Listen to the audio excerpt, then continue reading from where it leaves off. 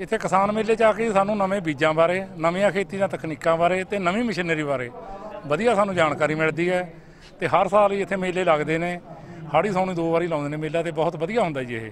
ਦੇਖੋ ਜੀ, ਜਿਹੜਾ ਨਾ ਪਹਿਲਾਂ ਸਰਕਾਰ ਬਣਨ ਤੋਂ ਪਹਿਲਾਂ ਸਾਡੇ ਮਾਨਯੋਗ ਮੁੱਖ ਮੰਤਰੀ ਭਗਵੰਤ ਮਾਨ ਜੀ ਨੇ ਇੱਕ ਗੱਲ ਕਹੀ ਸੀ ਵੀ ਅਸੀਂ ਖੇਤੀ ਨੂੰ ਲਾਹੇਵੰਦ ਧੰਦਾ ਬਣਾਵਾਂਗੇ।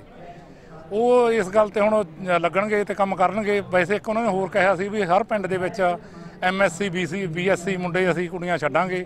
ਵੀ ਜਿਹੜੇ ਖ- ਖੇਤੀ ਦੀਆਂ ਤਕਨੀਕਾਂ ਬਾਰੇ ਜਾਣਕਾਰੀ ਦੇਣਗੇ। ਹਰ ਪਿੰਡ 'ਚ ਇੱਕ ਇੱਕ ਵਾਰੀ ਸਪਰੇਅ ਹੋਇਆ ਕਰੂਗੀ ਇਕੱਠੀ। ਵੀ ਉਹਦੇ ਨਾਲ ਵੀ ਕੋਈ ਸੁੰਡੀ ਵਗੈਰਾ ਕੀੜਾ ਵਗੈਰਾ ਉਹ ਸਾਰਾ ਮਰਿਆ ਕਰੂਗਾ ਤੇ ਇਕੱਠਾ ਸਾਰੇ ਕੰਮ ਕਰਾਇਆ ਕਰਨਗੇ। ਇਸ ਲਈ ਸਾਨੂੰ ਉਮੀਦ ਹੈ ਅ, ਸਰਕਾਰ ਤੋਂ ਵੀ ਬਹੁਤ ਵਧੀਆ ਆਉਣ ਵਾਲੇ ਸਮੇਂ 'ਚ ਜਿਹੜਾ ਖੇਤੀਬਾੜੀ ਦਾ ਧੰਦਾ ਹੈ ਲਾਹੇਵੰਦ ਧੰਦਾ ਬਣੂਗਾ।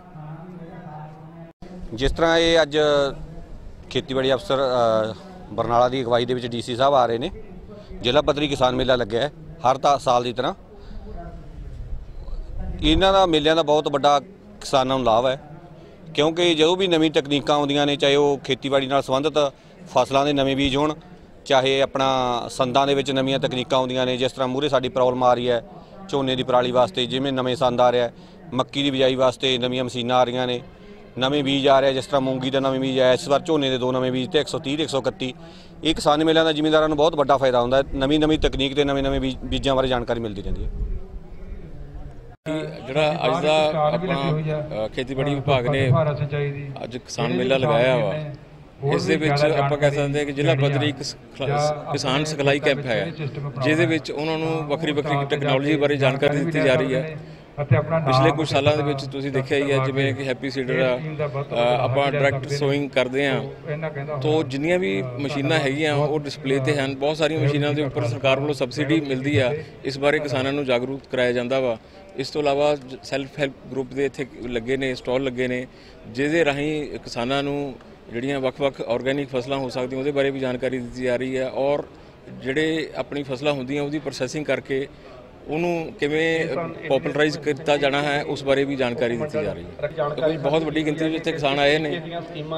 ਇਹ ਜਿਹੜਾ ਆਪਣਾ ਜ਼ਿਲ੍ਹਾ ਪੱਧਰੀ ਕੈਂਪ ਦਾ ਆਯੋਜਨ ਕੀਤਾ ਹੈ ਉਹਦੇ ਵਿੱਚ ਮੈਂ ਦੇਖ ਰਿਹਾ ਕਿ ਕਿਸਾਨਾਂ ਦਾ ਬਹੁਤ ਉਤਸ਼ਾਹ ਹੈ ਔਰ ਇੱਥੇ ਜੋ ਵੀ ਉਹ ਸਿਖਲਾਈ ਲੈ ਕੇ ਜਾਣਗੇ ਅਸੀਂ ਉਮੀਦ ਕਰਦੇ ਹਾਂ ਕਿ ਉਹ ਇਹਨੂੰ ਇੰਪਲੀਮੈਂਟ ਕਰਨਗੇ ਔਰ ਬਹੁਤ ਬਹੁਤ ਅੱਛੇ ਤਰੀਕੇ ਨਾਲ ਉਹ ਜਿਹੜੀ ਆਪਾਂ ਡਾਈਵਰਸਿਫਿਕੇਸ਼ਨ ਵਾਲੇ ਪਾਸੇ ਵੀ ਜਾਣਾ ਹੈ ਆਲੂ ਦੀ ਕਾਸ਼ਤ ਦੇ ਵਿੱਚ ਉਹਦੇ ਵਿੱਚ ਬਹੁਤ ਉਤਸ਼ਾਹ ਮਿਲੇਗਾ। ਹਾਂ ਜਰੂਰ ਜਰੂਰ ਅਸੀਂ ਹਰ ਜਿਹੜੇ ਨਵੇਂ ਸੁਝਾਅ ਮਿਲਣਗੇ ਉਹਦੇ ਬਾਰੇ ਵਿਚਾਰ ਕਰਾਂਗੇ। ਔਰ ਅਸੀਂ ਕੋਸ਼ਿਸ਼ ਕਰਾਂਗੇ ਕਿ ਵੀ ਆਉਣ ਵਾਲੇ ਦਿਨਾਂ ਦੇ ਵਿੱਚ ਸੈਲਫ ਹੈਲਪ ਗਰੁੱਪ ਨੂੰ ਵੀ ਅਸੀਂ ਉਤਸ਼ਾਹਿਤ ਕਰੀਏ ਨਾਲ ਦੀ ਨਾਲ ਜਿਹੜੇ ਐਫਪੀਓ ਹੈਗੇ ਆ ਉਹ ਉਹਨਾਂ ਨੂੰ ਵੀ ਅਸੀਂ ਵੱਡੇ ਪੱਧਰ ਦੇ ਉੱਪਰ ਕਿਵੇਂ ਆਪਾਂ ਉਹਨਾਂ ਦੀ ਰਚਨਾ ਕਰਕੇ ਉਹਨਾਂ ਨੂੰ ਅਸੀਂ ਪੋਪੂਲਰਾਈਜ਼ ਕਰੀਏ ਉਹਦੇ ਬਾਰੇ ਵੀ ਕੋਸ਼ਿਸ਼ ਕੀਤੀ ਜਾਏਗੀ। ਕਹੂੰਗਾ ਡਾਕਟਰ ਜਗਮੋਹਨ ਸਿੰਘ ਜੀ ਜੋ ਜਾਣਕਾਰੀ ਤਾਂ ਜੀ ਮਿਲਦੀ ਆ ਜਿਹੜੇ ਕਿਸਾਨ ਮੇਲੇ ਲੱਗਦੇ ਆ ਜ਼ਿਮੀਂਦਾਰਾਂ ਵਾਸਤੇ ਬਹੁਤ ਉਹ ਹੁੰਦਾ ਲਾਭ ਹੁੰਦਾ ਜੀ।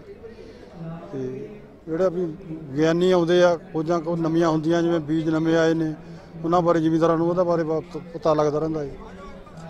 ਤੇ ਹੋਰ ਵੀ ਜਾਣਕਾਰੀ ਜਿੰਨੀ ਵੀ ਮਾਹਰ ਦਿੰਦੇ ਨੇ, ਉਹਦਾ ਬਹੁਤ ਫਾਇਦਾ ਹੁੰਦਾ ਜੀ। ਜਾਣਕਾਰੀ ਬਹੁਤ ਵ- ਵਧੀਆ ਮਿਲਦੀ ਹੈ ਜੀ ਇੱਥੇ। ਜਿਹੜੇ ਇਹ ਮੇਲੇ ਨੇ, ਕਿਸਾਨ ਮੇਲੇ ਨੇ, ਜਿਵੇਂ ਇੱਥੇ ਜਾਇਆ ਜਾਂਦਾ ਹੈ, ਪਿੰਡਾਂ 'ਚੋਂ ਲੋਕਾਂ ਨੂੰ ਲਿਆਂਦਾ ਜਾਂਦਾ ਹੈ, ਇਹ ਹਰ ਪਿੰਡ ਦੇ ਵਿੱਚ ਲੱਗਣੇ ਚਾਹੀਦੇ ਨੇ। ਅਸੀਂ ਸਰਕਾਰ ਤੋਂ ਮੰਗ ਕਰਦੇ ਹਾਂ ਪਿੰਡੀ ਪਿੰਡੀ ਮੇਲੇ ਲੱਗਣ, ਜਿਹੜਾ ਕੋਈ ਨਹੀਂ ਆ ਪਾਉਂਦਾ ਇੱਥੇ, ਉਹ ਮੇਲੇ ਦੇ ਵਿੱਚ ਆ ਕੇ ਆਪਣਾ ਲਾਭ ਲੈ ਸਕਦਾ ਹੈ। ਇੱਥੇ ਬਹੁਤ ਨੇ ਜੀ, ਮਸ਼ੀਨਰੀ ਹੈ, ਵਧੀਆ ਆਉਂਦੀ ਹੈ, ਬੀਜਾਂ ਦੇ ਵਧੀਆ ਉਹ ਮਿਲਦੇ ਨੇਗੇ। ਨਵੇਂ ਤੋਂ ਨਵੇਂ ਬੀ ਦੇਖਣ ਨੂੰ ਮਿਲਦੇ ਨੇ ਵੀ ਆਹ ਲਾਓ ਆਹ ਲਾਓ।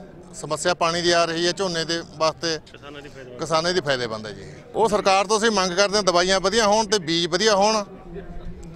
ਤਾਂ ਜਿਹੜੇ ਕਿਸਾਨ ਲਾਹੇਬੰਦ ਤੋਂ ਧੰਦਾ ਲੈ ਸਕਣ। ਪਿਛਲੀਆਂ ਸਰਕਾਰਾਂ ਦਾ ਤੁਸੀਂ ਦੇਖ ਹੀ ਲਿਆ। ਮਾੜੀਆਂ ਦਵਾਈਆਂ ਮਾੜੇ ਬੀ। ਮੰਗ ਕਰਦੇ ਹਾਂ ਅਸੀਂ ਸਰਕਾਰ ਤੋਂ ਵਧੀਆ ਸਾਨੂੰ ਬੀਜ ਦਿੱਤੇ ਜਾਣ। ਵਧੀਆ ਤਕਨੀਕਾਂ ਖੇਤੀਬਾੜੀ ਸੰਦਾਂ ਦੇ। ਉਹਨਾਂ ਦੀ ਸਬਸਿਡੀਆਂ ਦਿੱਤੀਆਂ ਲਾਹੇਬੰਦ ਬਣਾਏ ਜਾਣ।